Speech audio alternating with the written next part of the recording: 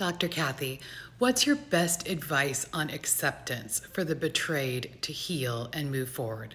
Six months since D Day, and this is my biggest struggle.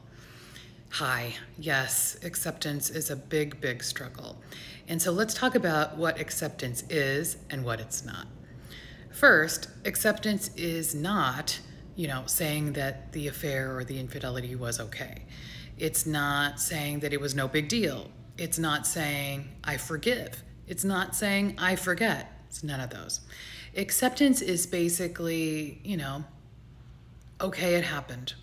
That this is part of my story. And it sucks that this is part of my story. I never wanted this. This is horrible. I hate this. But it's just part of my story. It's not the whole story. And it's not my fault. I did not, you know, do anything to cause this. I didn't deserve this. I didn't do anything wrong. But now here it is, and I have to figure out a way to move forward from this, given that this is part of reality.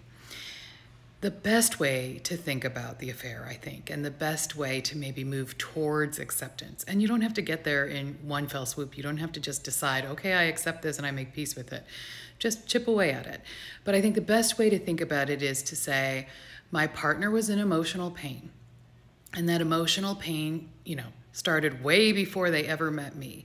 And that pain has grown in time. It didn't have anything to do with me directly. And they chose a very unhealthy, inappropriate painkiller to treat that pain. And that painkiller was the affair.